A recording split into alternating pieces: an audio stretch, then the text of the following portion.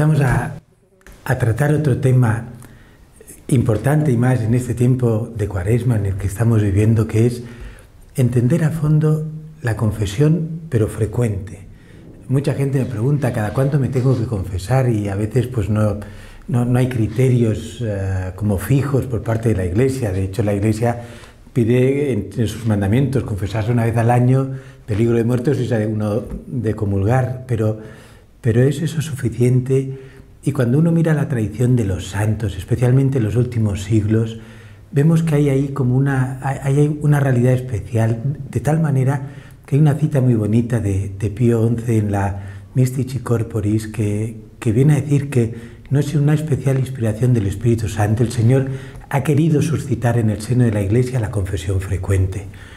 Y, en esa misma cita, es un, único párrafo en esa encíclica, va explicando el por qué, qué es lo que haremos a lo largo de, pues de esta charla, entender el porqué de esa confesión frecuente que el Espíritu Santo ha querido suscitar en, en el seno de la Iglesia. Algunos habréis visto o habéis escuchado pues, una de las charlas sobre el perdón en la que os comentaba y os preguntaba cuando os vais a confesar qué vais a buscar. Y, y las respuestas habituales de la gente es, pues padre, volver a empezar, uh, o, o, consuelo, o consejo, o, o, tener paz, o la tranquilidad del corazón, o, o, volver a tener esperanza, o sentirme querido. Y, de, y eso es lo que muchísima gente viene a, buscar, a buscar cuando se viene a confesar. Y es verdad que Dios eh, nos ofrece todas esos eh, como ternuras de su corazón cuando le vamos y le decimos, Señor, lo siento, pero, pero es eso lo que quiere ofrecerte. Y ahí os recordaba en esa charla sobre el perdón que eh, esa anécdota, esa analogía con el mundo universitario, donde hay chicos en la universidad, chicos y chicas, donde normalmente las chicas tienen mejor letra que los chicos. Y entonces hay chicos que se hacen amigos de una chica para conseguir los apuntes. Y hay otros chicos que se hacen, eh, podrían decir, que le piden los apuntes para conseguir la chica que hay detrás.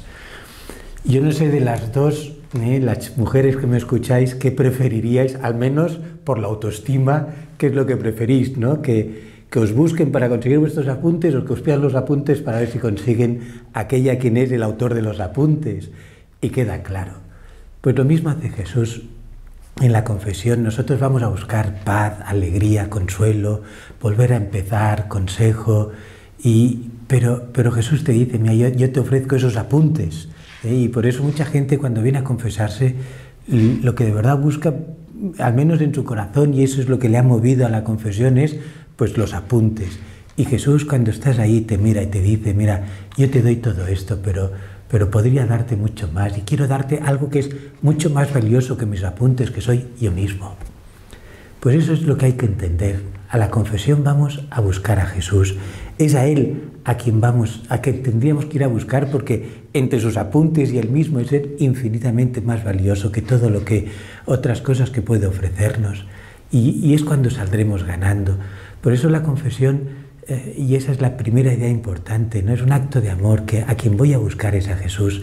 Lo que quiero es que viva en mi corazón y que yo pueda vivir en el suyo. Y eso es lo que hago cuando uno se postra de rodillas ante el sacerdote para que mirando eh, pues a nuestro Señor pueda, pueda entender que lo que me ofrece es Jesús que quiere vivir en mi corazón y yo que le pido poder vivir en el suyo.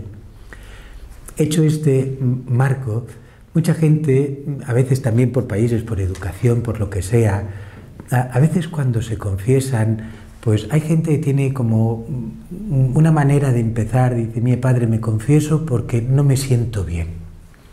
Es bastante común en mucha gente, no me siento bien y es verdad, cuando uno ofende a Dios, pues la verdad es que muy bien no se tiene que sentir. Pero, pero, ¿qué es eso? No me siento bien. Y entonces medio en broma, ¿no? Pues y evidentemente no explicar nada de ninguna confesión, pero haciendo broma de alguien me dijera y, y, bueno, y, haciendo un poco de examen. Y esto, pues, ay, pues, pues sí que lo he hecho. ¿Y no te sientes mal? Pues no, no me siento mal. Y esto, ay, pues también lo hago. ¿Y no te sientes mal? Digo, no, no me siento mal. Y entonces resulta que hay gente que lo único que viene a buscar es eso, como no me siento bien, a que me den paz. Pero resulta que aquí, ¿quién es el importante? ¿Jesús o yo? Y el problema es que para mucha gente la confesión es un medio donde yo soy el único importante, cómo siento, cómo estoy por dentro, y lo que quiero es como, como si me pusieran ahí un apósito que me calme ese mal sentimiento para tener paz otra vez. Y, no es eso. El problema de mucha gente cuando te confiesas y le dices, mira, Jesús mío, estoy aquí, y, en vez de decir, Señor, mira, es que me siento mal, eh, lo que tenemos que plantearnos, y muchas veces le digo a, a, mucha gente, oye, ¿y te has planteado cómo se siente Jesús cuando haces esto? Y me miran con una cara de desconcierto y me dicen, pues, ay padre, no lo había pensado nunca. Y yo, porque, porque no nos importa lo suficiente, porque no nos damos cuenta quién es Jesús. En el amor os explicaba en la charla del perdón que cuando dos personas se han herido y, y se han distanciado el uno del otro, os preguntaba, ¿quién sufre más de los dos, la víctima o el agresor? Y la respuesta es el que más ama de los dos, es el que más sufre. ¿Quién sufre más cuando Jesús ve mm, pues nuestras ofensas, eh, el que nos hayamos alejado de Él? ¿Quién sufre más? Pues el que más ama de los dos. Porque Él se da cuenta de todo lo que te pierdes si no estás cerquita de Él, de todo lo que Él podría darte y tú no le dejas. Y por eso quien más sufre, si podemos hablar así, es Él. Y por eso en la confesión no es tanto cómo me siento yo, sino, y tú Jesús mío, cómo te sientes.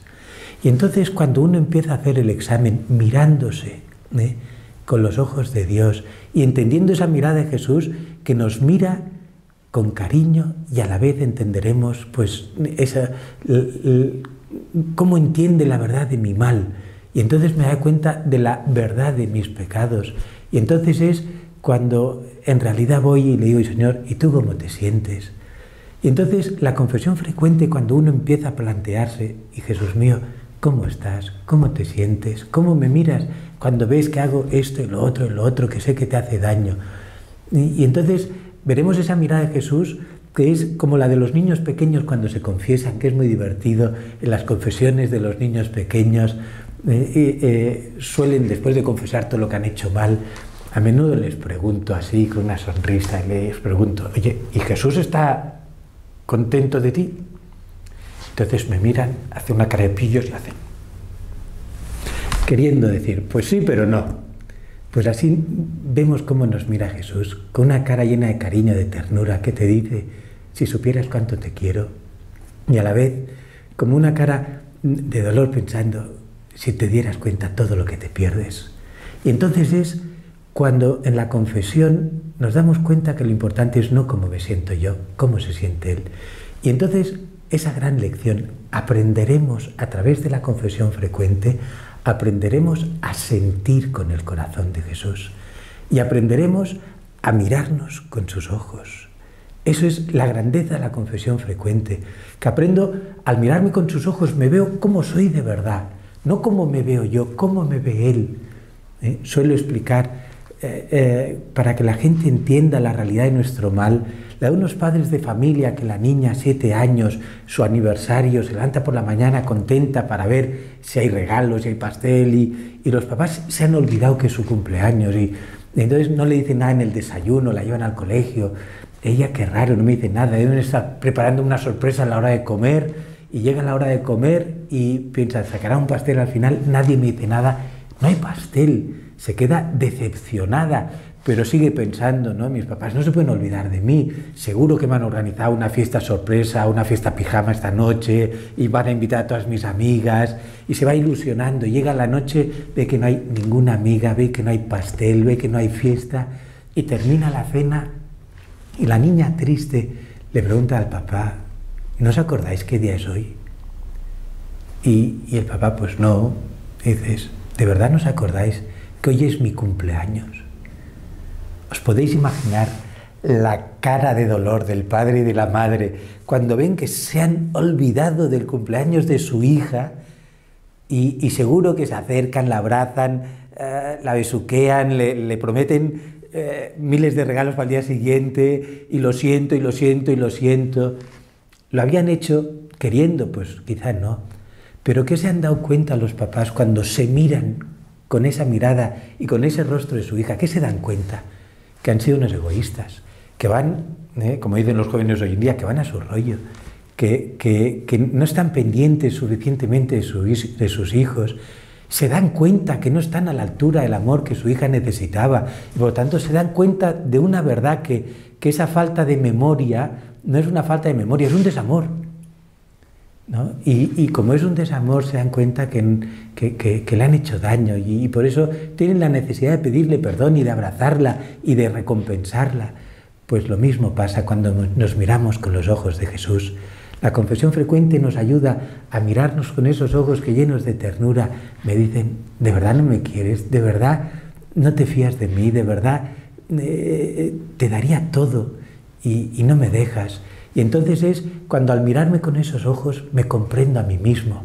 ¿eh? Por eso decía San Agustín una frase muy bonita, Señor, que te conozca y que me conozca. Y a la vez le pedía que me conviertas y que me convierta. Son la lógica de mirarme con sus ojos para cambiar mi corazón. ¿Por qué? Porque ahora al mirarme con sus ojos y al entrar en ese corazón de Jesús para ver, ¿y tú, Jesús mío, cómo sientes? Entonces aprendo otra gran lección que es aprendo a sentir con el corazón de Jesús. Y cuando aprendo a sentir con ese corazón, eso no me deja indiferente, que es el siguiente paso de lo que ocurre en esa confesión frecuente, que me doy cuenta que si empiezo a pensar y a sentir con ese corazón, yo tengo que salir de mí mismo y hacerme a la medida del corazón de Jesús, es decir, aprendo a amar. El amar quiere el bien del otro y por lo tanto, en la confesión frecuente aprendo a hacerme a la medida del corazón de mi Dios, que eso hace que tenga que salir de mí mismo, que me dé cuenta que lo importante aquí no soy yo, que me dé cuenta que a quien tengo que agradecer, admirar y servir es aquel que tanto me quiere. Y entonces me doy cuenta que estoy en deuda y aprendo a amar. Esa es de las consecuencias más bonitas de la confesión frecuente, que es aprender a amar. Porque entonces voy viendo, eh, al hacerme a su medida, al tener que salir de mí mismo, el aprender a amar, entonces me doy cuenta cómo es la manera de amarme de Jesús. Y entonces siento la infinita ternura de un Dios, que lo que es espectacular es que me acerco, le pido perdón y encuentro a Jesús con los brazos abiertos y el corazón traspasado. Y me acerco para decir, Señor, lo siento, y él me mira con una sonrisa llena de agradecimiento, me abraza en su corazón, me abraza bien fuerte, me entra en su corazón y me dice, pero si este es tu hogar, te añoraba cuando estabas lejos de mí y por eso que vuelvas es para mí un regalo. Y entonces resulta que no nos pasa factura nunca. Si era el que más nos añoraba, como el Padre misericordioso esperando el Hijo pródigo, es quien más nos añoraba, es quien más feliz está cuando ve que vuelvo, porque hay más alegría en el cielo por un pecador convertido que por 99 justos. Es la ilusión de nuestro Dios cuando veo, cuando ve que vengo y le digo, Jesús mío, te necesito. Jesús mío, lo que tú me ofreces es para mí el mayor regalo y por eso vengo a buscarte. Y Jesús no solo te acoge para darte ese regalo que anhelas, que es a Él mismo, sino que además te hace otro regalo mucho mayor sin pasarte factura y diciendo eso lo pagué yo y lo pagué en una cruz, te coge y te devuelve tu dignidad y te coloca en el centro de su corazón, que es donde debes vivir siempre, donde Él te necesita. Y entonces ves que cuando te perdona Jesús, lo que hace es te devuelve tu dignidad y te recuerda cuál es tu dignidad. Es tan espectacular cuando uno lo piensa que se queda uno admirado, agradecido, y se siente otra vez en deuda. Y entonces me doy cuenta que esa es la manera de aprender a querer. Es decir, que a partir de ahora, con los demás que me han fallado, que me han herido, pues entonces es ese corazón que les dices, cuentas conmigo, estoy a tu lado, no te preocupes, ya pago yo. Y además que sepas que si vuelves me haces feliz. Un amor que ama así es capaz de rehacer todas las heridas que hay aquí en la tierra rehacer hogares, rehacer personas que tienen la autoestima destrozada por tantos desamores. Y es la única manera de devolver a la gente pues, pues esa conciencia de su dignidad y, la grandeza y la conciencia de sentirse de verdad amados. Aprenderemos a amar y nos sentiremos amados y nos sabremos amados. Eh, y ahí veremos cómo en esa dinámica y en esa lógica quien ha tomado la iniciativa pues es Jesús. Él siempre empieza. Esa expresión del Papa Francisco tan bonita, el primerear. Y es un primerear que en Evangelii Gaudium, en el número 24, decía, no solo es un primerear, ahí ponía cinco verbos muy bonitos, que es primerear es tomar la iniciativa, es Jesús que viene, es Jesús que ha ofrecido primero su perdón. La segunda decía es involucrarse. Y no solo ha tomado la iniciativa, sino que se ha involucrado hasta tal punto que Él ha asumido tu pecado, el mío, y lo ha pagado en una cruz. El tercero decía acompañar. Y hace que nunca te sientas solo, que sepas que en ese momento de debilidad Él estaba allí acompañándote a tu lado, nunca te ha dejado solo, ni te dejará nunca solo. Y después decía fructificar. Fructificar es ahí donde está Jesús, surgen esos frutos del Espíritu Santo, la caridad, la alegría, la paz, eh, la, la, paciencia, la bondad. Y sigue esa lista que enumera San Pablo en la carta a los Gálatas, en el capítulo quinto, que es muy bonito decir, ¿por qué salimos tan contentos de una confesión? Porque me siento querido, porque me siento amado por quien es el amor, porque siento el gozo y la ternura de alguien que, que me abraza y que me muestra que le importo, por eso es el sacramento de la alegría. Y por lo tanto, y vemos otra cosa que es muy importante en el corazón de Dios cuando me perdona, que nunca guarda rencor. La confesión frecuente es de los caminos más bonitos para drenar ese rencor que hay en tantos y tantos corazones, fruto de la soberbia, que impiden rehacer hogares, corazones, trabajos. Eh, eh, la soberbia, decía Madre Teresa, todo lo estropea. Y por eso hay que aprender a, no dejar pozo en el alma del rencor, pero eso se aprende cuando uno mira cómo el corazón de Jesús, cuando vuelves, no solo no te guarda ningún rencor ni te pasa factura, sino que te ofrece su cariño y te dice cuentas conmigo, te esperaba y gracias por volver. Es todo tan increíble y entonces, ¿qué ha pasado con el mal? Y os lo explicaba en esa charla también sobre el perdón, que, que, el mal que era lo que me separaba, el desamor era lo que me alejaba de Él. Una vez Él me abraza y, me, recoloca en su corazón y me recuerda que esa es mi dignidad, el mal queda aniquilado, cero, no queda nada. Eh, tan increíble en esa eh, meditación que le dio el cardenal Fantuán al Papa Juan Pablo II y a la Curia Romana el año 2000 en una de las meditaciones, ¿no? la tituló Los defectos de Jesús, así en broma, y, el primer defecto que decía Jesús no tiene memoria. Y sacaba a colación pues esa realidad. Cuando Jesús te perdona, aniquila el mal. Nunca más formará parte de nuestra vida. Quedarán consecuencias. Pero la culpa ha quedado totalmente aniquilada. Gracias, Dios mío, gracias. Hay otros ¿eh? Eso era para entender que en la confesión no voy a que me siento mal. ¿eh? A la confesión es, ¿y tú, Jesús mío, cómo te sientes?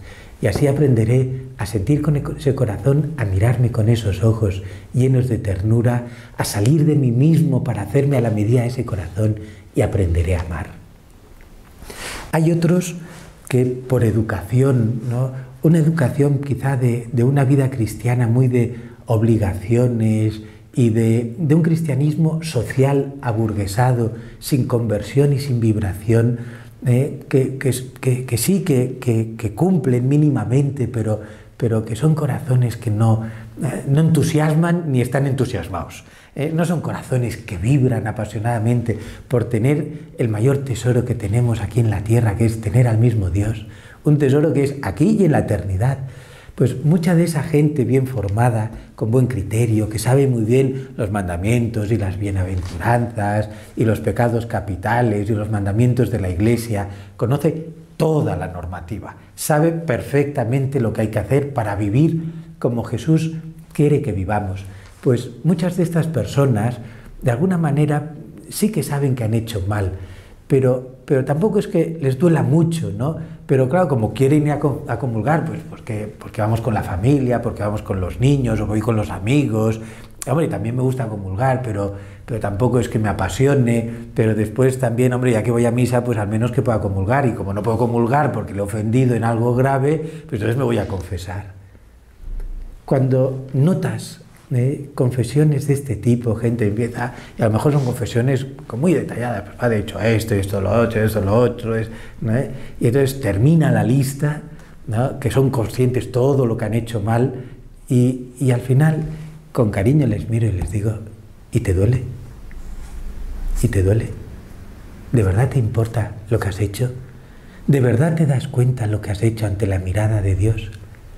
Y me da la impresión de que su confesión es exactamente igual a alguien que, pues a la una de la, de la noche, eh, por las calles de una gran ciudad, atraviesan un semáforo, un peatón que atraviesa un semáforo en rojo, que mira de derecha a izquierda, no hay ningún coche, y dice, ¿para qué me voy a esperar a que se ponga en verde? Entonces pasa el semáforo en rojo. Y entonces acabas de terminar de pasar el semáforo, hay alguien que tenga sentido de culpabilidad por pasarse un semáforo en rojo cuando ha visto que no viene ningún coche y que no va a llegar a corto plazo, ¿no? Y entonces, pero cuando llega a la otra punta del semáforo, resulta que había un policía por ahí, me para y me pone una multa. ¿Me sabe mal? Me sabe mal la multa. ¿Pero haber pasado el semáforo en rojo? Pues no, sigo justificando que tampoco está tan mal.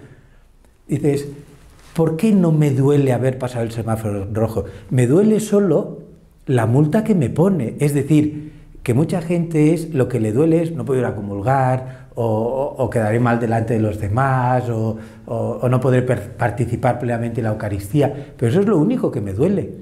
No me duele otra vez cómo se siente el corazón de Jesús ante lo que yo he hecho. Porque no me duele lo que al policía que me pone la multa, pues eh, que no tiene ningún sentido de dolor. Es más, como está recaudando, a lo mejor está contento porque al menos le damos trabajo a esas horas de la mañana. Pero el sentido de decir, y yo pienso que he hecho súper mal pasando un semáforo en rojo, pues no, cero, ninguno. Pues hay mucha gente que sus confesiones parecen igual, donde ya sé lo que he hecho mal y, reconozco que lo he hecho mal y delante del policía también reconozco, ¿usted ha pasado el semáforo en rojo? Pues sí. Pues mire, la multa le toca. Y como reconozco que eso tiene una penalización y entonces soy hombre responsable, pues pago la multa y se ha acabado. Pero no me duele ¿eh? con un dolor de amor el haberme pasado un semáforo en rojo. ¿Por qué? Porque detrás del semáforo no hay nadie. Y cuando no hay nadie, el dolor solo es fruto de encontrar que delante de ese precepto hay alguien que me quiere y entonces es como si detrás de ese semáforo en rojo hubiera alguien que es quien más me quiere que me dice, mira, no lo pases porque yo sé lo que te puede pasar y en el fondo si lo pasas es porque no te fías de mí, porque no me quieres, porque no me reconoces en mi sabiduría y en mi bondad, no crees que lo dispongo todo para tu bien, no te das cuenta que lo que quiero es que tú salgas ganando. Y por lo tanto, si me diera cuenta que detrás del semáforo hay alguien que me lo ha pedido por ese motivo, me daría cuenta que pasar el semáforo es un desamor. Y si me doy cuenta de ese desamor, entonces empezará a dolerme de verdad.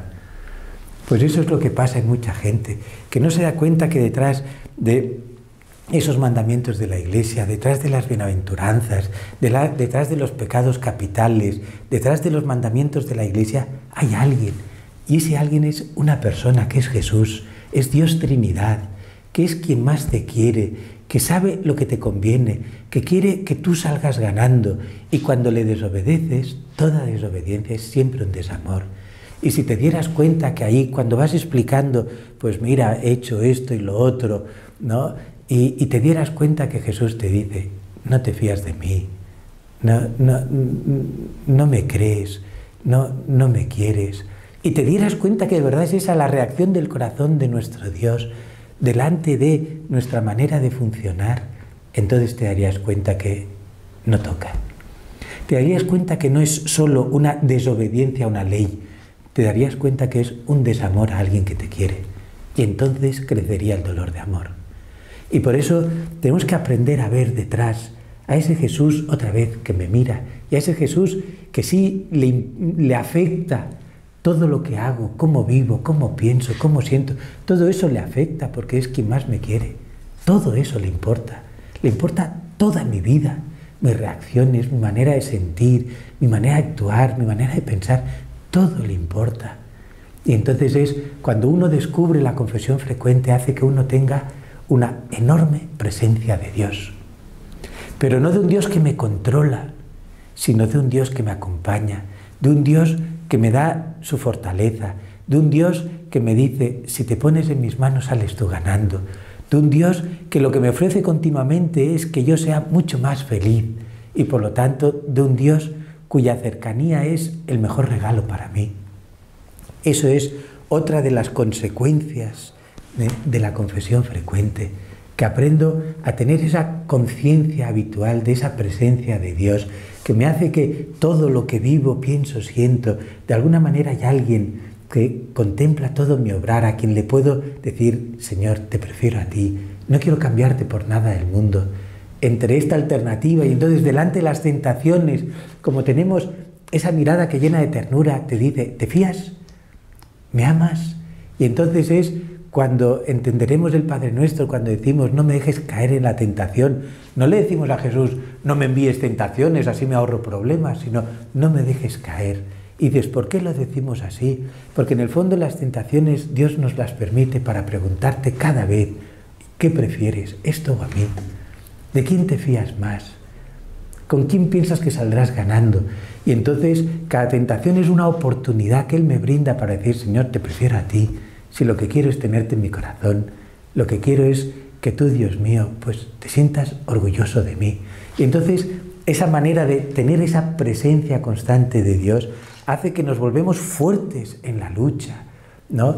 Tenemos capacidad de reacción en positivo delante de las dificultades, delante de las tentaciones, delante de las contradicciones y nos da otra vez una nueva mirada y un nuevo corazón. Eso es la consecuencia de la confesión frecuente. Hay mucha gente que no se confiesa, pero eh, eh, creo que era, mm, no sé si Juan XXIII o Pablo VI, que decía que uno de los graves problemas de, nuestro mundo es que, que, muchos cristianos han perdido el sentido del pecado.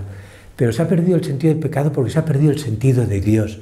Es decir, no vemos a alguien que me quiere detrás de mi obrar. Eso que os decía con el ejemplo del semáforo.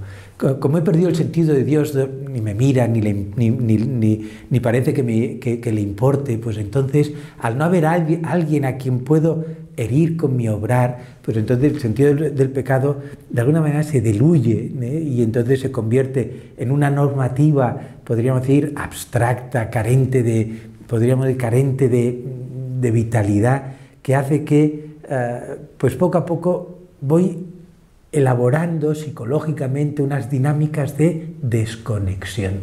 Es decir, ¿para qué me voy a ir a confesar? Si total, ¿no? si tampoco es tan importante, pues no he ido a misa o no he hecho esto, no he hecho lo otro, o ah, pues tampoco. Y entonces uno empieza a justificarse y como no veo cómo siente Jesús, pues no hay nadie que sienta nada porque no lo veo. El problema es el pecado oscurece, lo dice el Papa en el mensaje de la Cuaresma de este año 2017, que que eh, el punto final del rico ese, ¿no? Que, no se da cuenta, está Lázaro, dice, porque el afán de las riquezas le lleva en segunda mano pues, a la vanidad de querer figurar y en tercer lugar a ponerse por encima de los demás, que es la soberbia.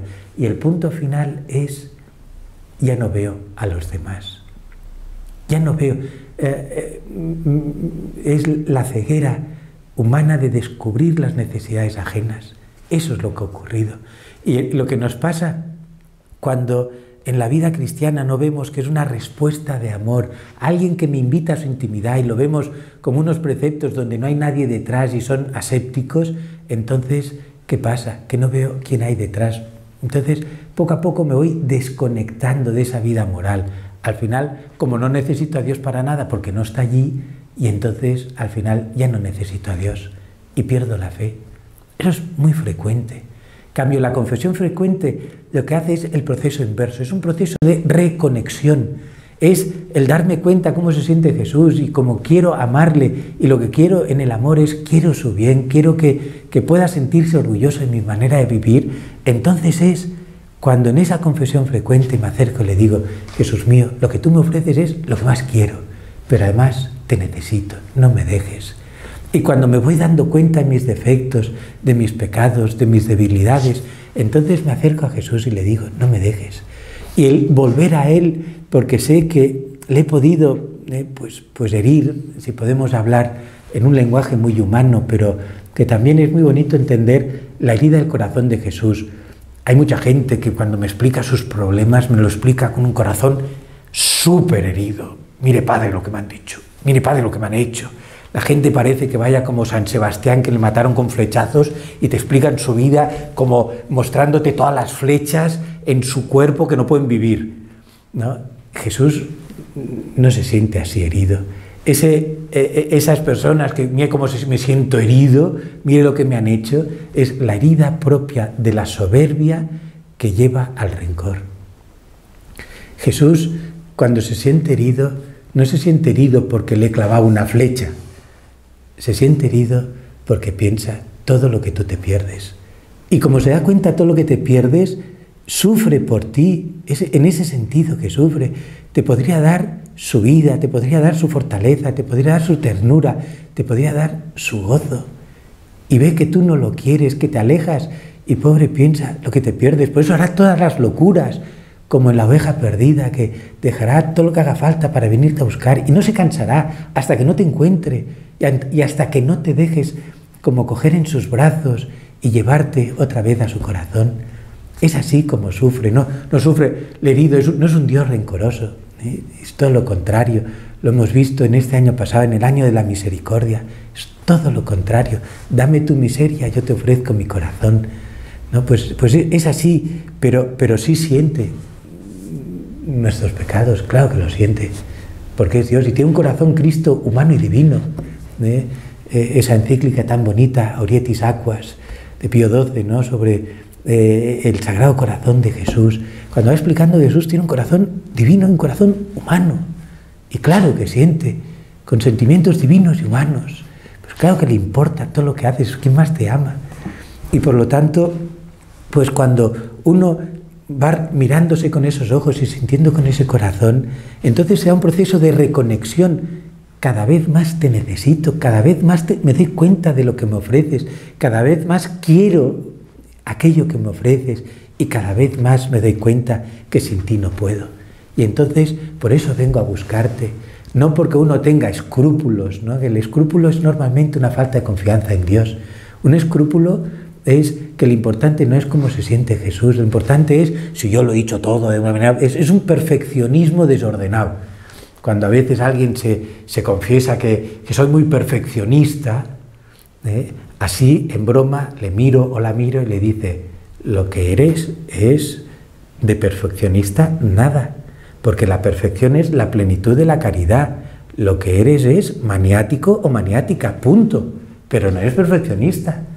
La perfección es la plenitud de la caridad. Es perfecto quien ama de corazón. Por eso quien es, aquellos que dicen que soy muy perfeccionista, que es la soberbia de maniática de querer todo a mi manera, que si no está a mi manera me enfado con todo el mundo y falto a la caridad, eso no es perfeccionismo.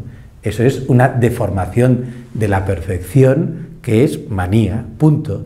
Pues, pues, y por eso el escrupuloso es alguien que no se mira con los ojos de Jesús, es un perfeccionista maniático que se piensa de que yo lo diga y haga todo perfecto, cuando la Iglesia enseña que las confesiones tienen que ser íntegras, íntegras significa que yo ante Jesús tiene claro y ante el sacerdote que de todo lo que soy consciente, me acuerdo y, me doy cuenta que he hecho ante Dios, le digo, todo esto te pido perdón.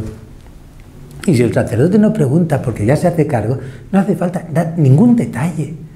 ¿no? Es que no sé si lo he dicho bien, no te preocupes, te dolía, eh, el sacerdote no te ha preguntado y tú te duele y quieres cambiar y quieres amar a Jesús y, pues ya está, eso es una confesión íntegra. ¿eh? Y es que no haya nada en mi corazón que mm, lo quiera como esconder a la mirada de mi Dios. Y eso pasa, gente lleva años sin confesarse, 30 años sin confesarse, pues la primera confesión se confiesan de todo lo que son conscientes, que es un 10% de lo que han hecho.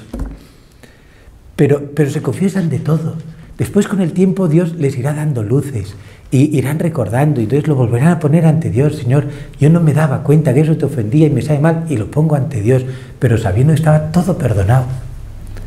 Eso es eh, la integridad de la confesión y por eso eh, en esa confesión frecuente lo que hago es reconectarme cada vez más hasta el punto de decir, Señor, mi manera de sentir es tu corazón, mi manera de mirarte son tus ojos, te necesito y no me dejes.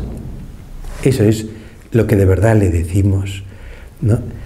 Y termino, cada cuánto hay que confesarse. ¿eh? Hasta ahora lo que he dicho es una reflexión a la luz de lo que es un amor que sabe perdonar. Lo que diré ahora es mi opinión personal y lo dejo claro porque no es lo que la Iglesia enseña eh, y, hay que obedecer, pero es la opinión fruto de, leer pues, vidas de muchos santos, de entender esos grandes maestros espirituales que, que, desde tiempo atrás aconsejan esa confesión frecuente y el entender los motivos. Cada cuánto hay que confesarse. Yo suelo plantearle a la gente que al menos haya periodicidad. Porque si uno se pone periodicidad, eso es como ir a, una universidad, te matriculas en una asignatura que el profesor dice, no hay examen final. Dices, ¿cuántos dominarán la asignatura? Dice, pues casi nadie. Porque si no hay que estudiar, no, pues, pues no, no, no, pondré el corazón, no, no pondré empeño, no, no. En cambio, cuando me dice hay examen, pues cogeré los apuntes, los estudiaré, los memorizaré y entonces se quedará en memoria. Pues lo mismo si pongo periodicidad, es como decía un obispo que estuvo en Barcelona, que nos comentaba un grupo de sacerdotes que en, parte en algunos estados de Estados Unidos, cuando tienes que pasar una vía del tren, hay un letrero unos metros antes que pone Stop, listen and look. Párate, mira y escucha.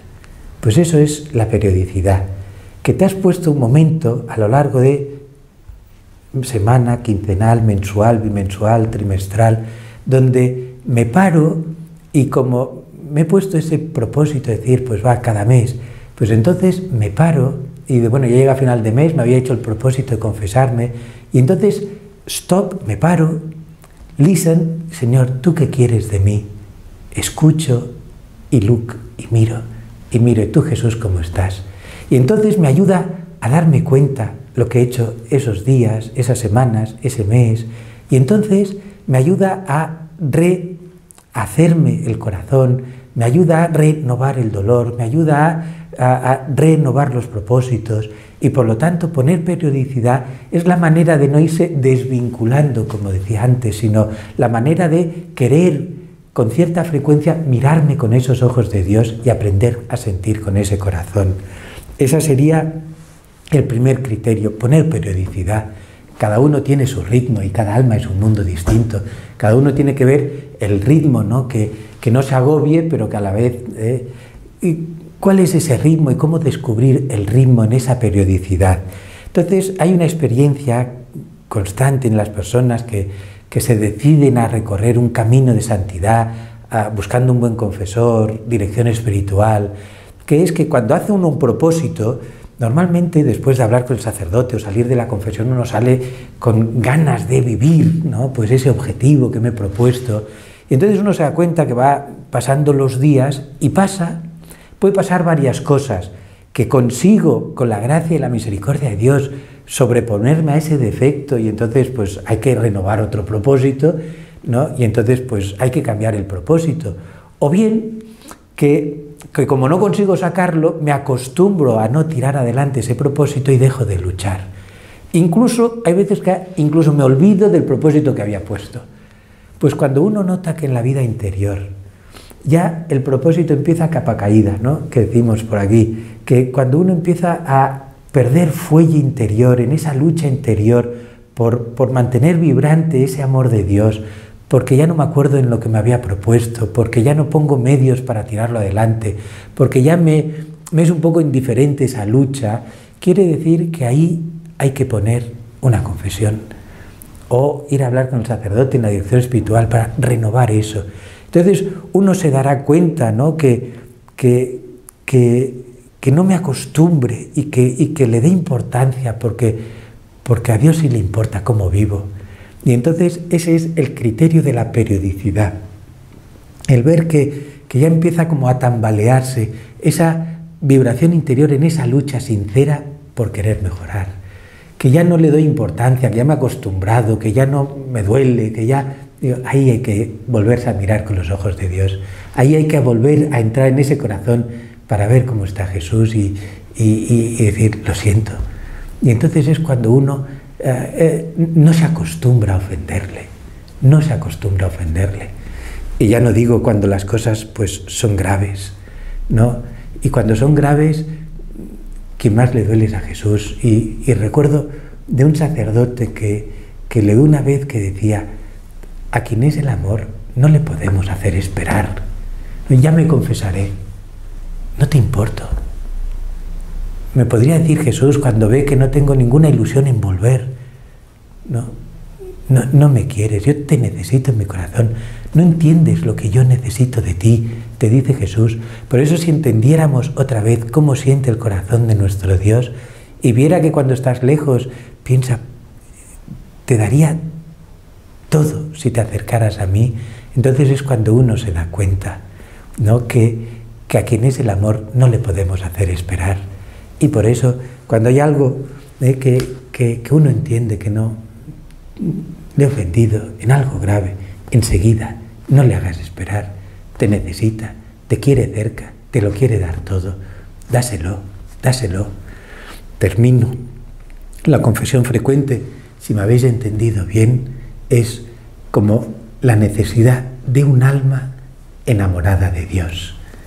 Cuando uno ha entendido esa realidad, uno ve el por qué Dios quiso instituir este sacramento, por qué el Espíritu Santo quiso suscitar en el seno de la Iglesia esa confesión frecuente que os explicaba al principio y veréis que es uno de los grandes tesoros que tiene la Iglesia en ese sacramento para ir disponiendo nuestro corazón para acoger a Jesús en la Eucaristía con el amor que Él se merece.